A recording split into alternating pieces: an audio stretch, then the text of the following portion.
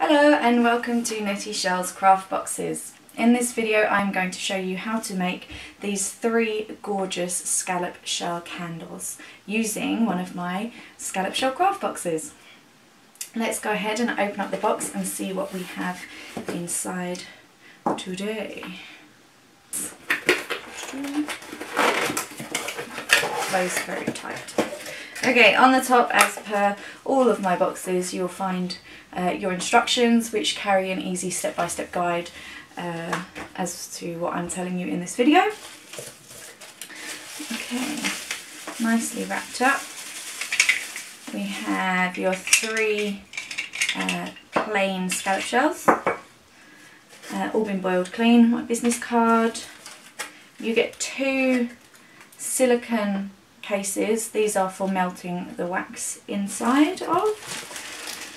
Three bags of wax, all measured out, um, which is more than enough to fill up each of your shells with.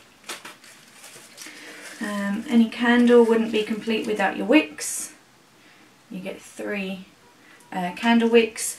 They also have sticky dots, sticky pads even, to go on the bottom of the wicks to hold them in place three stirrers for stirring your wax with. A piece of dye if you want to uh, dye them or keep them plain is entirely up to you. I will show you how to leave them plain and how to add the dye in. The last thing you get in here is your little stop dots. Um, I'll tell you what these are for uh, a little bit later on.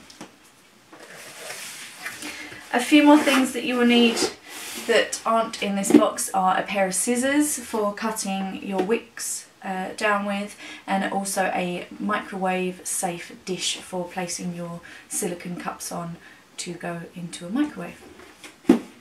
I will tidy all this up and we'll head on down into the creating section. Welcome everybody, we have got everything now set out ready to make our candles.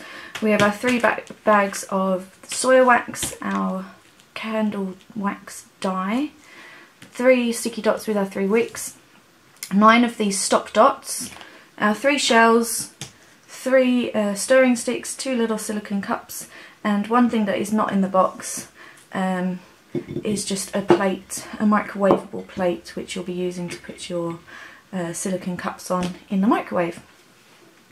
So, once you open up your box and see my instructions, the first thing I'll get you to do is to make these shells as level as possible. We want them to be level, that way they'll fill up with the most amount of wax.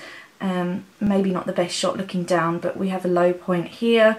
Uh, and if we were to fill it up with wax, the wax would trickle out of there. So we want to try and make them all um, as flat as possible so we can fill them up with the most amount of wax.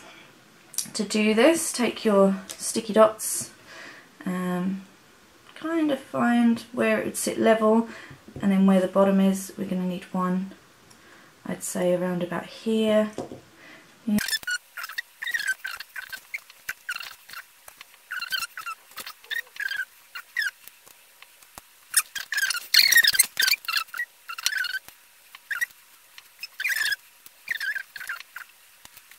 Yeah, look at that. That one's perfect. Okay, so if you were looking across them now, they are a lot more uh, level, ready for pouring wax in. Doesn't matter if you don't use up all of your uh, stop dots. Um, I've just put three in for each one. That one was the trickiest, not the best. Okay, next step, we're going to stick our wicks in. Best place to stick the wick in is in the deepest point, which is generally in that bottom curve bit here. To do this, you're going to take your sticky pads, pop your wick onto a sticky pad, pull the bottom off and stick it right in the bottom there. Ta-da! Do the same for the other two.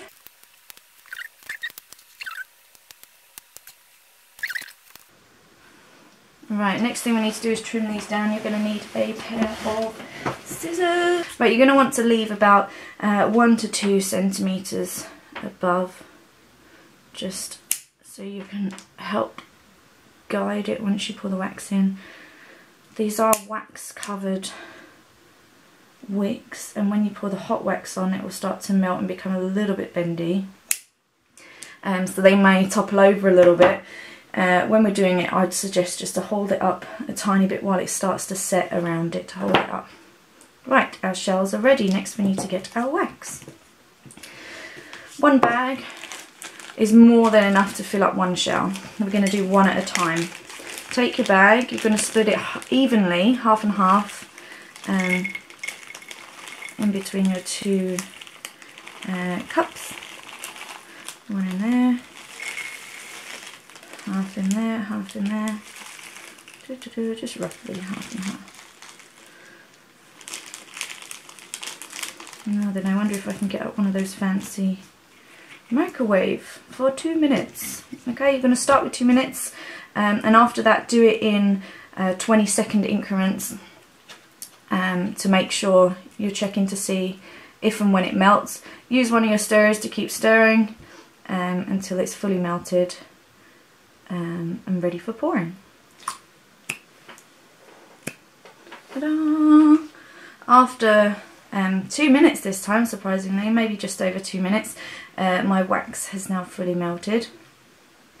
Um, when you're getting it out of the microwave, Make sure to use uh, either a tea towel or a oven glove, something to protect your hands with um, when picking up the plate because the plate will be hot just like any other food that you would put in the microwave on a plate, it will be hot. Um, if there was just a few little uh, pellets that hadn't melted yet, just give it a stir. Stirring it will take out all of those uh, lumps and pellets. Okay, next we are ready to pour um, our wax into a shell choose which shell you want to do. These silicone cups after um, a few seconds out of the microwave have cooled down enough that you should be able to pick them up and very carefully pour away. If you have made your shell nice and level you should be able to get a nice amount of wax into your shell. Doo -doo -doo. I'm going to see how far I can push that one. That's probably the maximum before we start tipping off out there. And surprisingly, my wax is, uh, my wick has stayed straight up, so I don't need to fiddle about with that one. Okay, we've still got a little bit left over, that's no problem.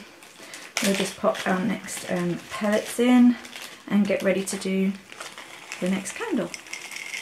Half and half.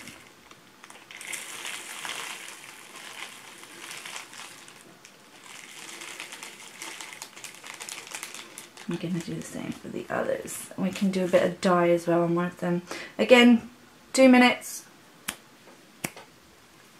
Ta-da! We have melted our second batch of wax. If there's any little pellets up on the side, you can always poke them in. Let's see, they're the ones that didn't melt. If you just give it a little stir, it will all melt. Try not to spill it like I do, otherwise you'll end up with little bits of wax um, on your table. But that's fine, you can just scratch it off once it's dry. Uh, uh, right, also in this pack I have included a bit of dye.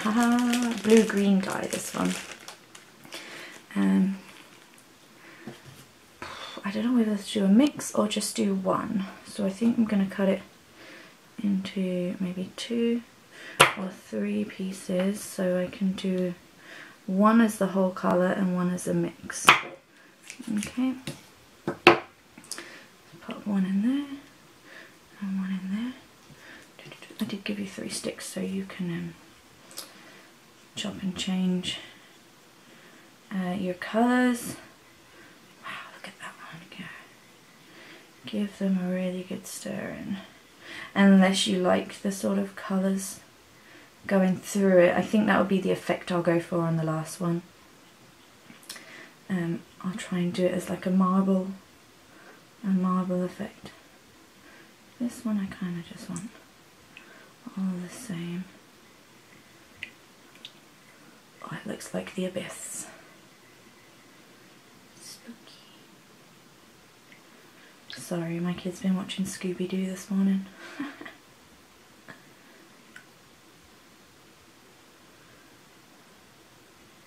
Look at that view. I'm going to pour them very carefully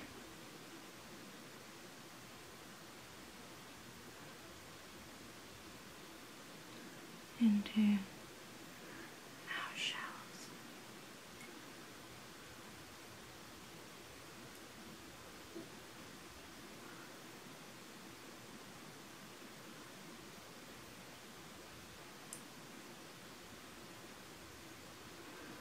Being careful that you don't go all the way to the edges otherwise you'll end up with a spill. Number two. Right, last candle.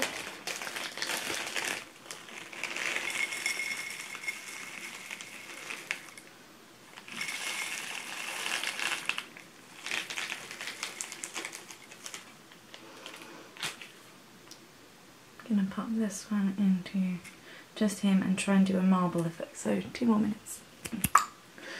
Welcome back. We have melted blue dye and we have melted our clear.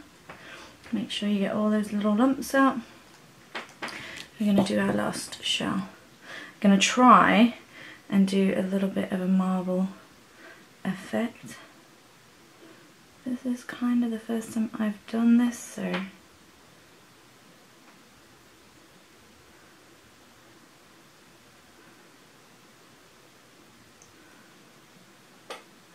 making sure that you don't overfill it again. Not 100% how this is going to look. I've got to wait for it to... What it's going to look like when it finishes. These two you can see have already started to set. One more thing I forgot to say. Um, if you have any wax left over, just leave them in these silicone moulds uh, to go hard. Once they're hard you can crack uh, all of the wax off to put it into the bin. Any little spills, uh, if you can catch them while they're wet, uh, you can just use a piece of kitchen towel to mop them up with. Uh, be careful because it will be hot. Um, otherwise you can wait for it to um, dry a little bit like this one and then you can just um, scratch it off with a fingernail or a knife. Or Okay, congratulations, you have made your three beautiful scallop shell candles. Um, I hope you've left them to set and uh, harden on a nice um, even surface. Try not to move them about when they are setting, otherwise you may end up with some ridges or ripples in them. Um, you can see from my tutorial, we've got my lovely plain um, shell. This was the one which I mixed uh, the dye into both of the silicone moulds and this was my marble effect one where I tried to do a white and a coloured one pouring in at the same time. I hope you have enjoyed making your candles uh, as much as I have enjoyed making this video.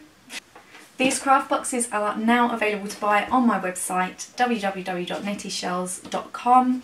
Uh, they are only £14.99. Please feel free to buy them for gifts for anyone that you know is crafty or into candles, someone who needs a little uh, cheer up. Um, please don't forget to click below to subscribe to my YouTube channel and you'll get updates on any of my new uh, scallop shell craft boxes because there's lots more coming soon. Thank you for watching. Bye.